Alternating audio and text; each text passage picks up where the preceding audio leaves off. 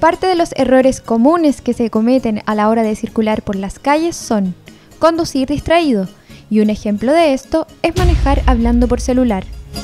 Y en el caso de los peatones, cruzar la calle descuidadamente o en un lugar que no corresponde. Por otro lado, es importante recordar que para evitar cualquier tipo de accidente, nunca se debe manejar si se ha consumido alcohol.